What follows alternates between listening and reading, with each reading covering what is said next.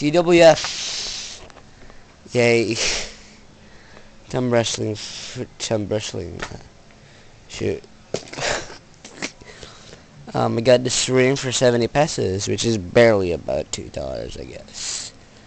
And I got ouch with it. Yeah, ouch, best fire ever. And yeah. I am, ouch, and I'm gonna suck badly, man. Um, I'll try to bow with me on it because we made custom TWF figures back in the day. No, I should hold the, the Wii U box. Um, why didn't I use my computer stand? Anyways, uh, yeah. This is the pretty much the table, I guess. It's pretty standard-ish. Um, I, it's not like a thumb wrestling stand for like 200 pesos, but what? It's like overpriced and this one is freak TWF and it's let's see how I can do it in my regular hand. No. Alright.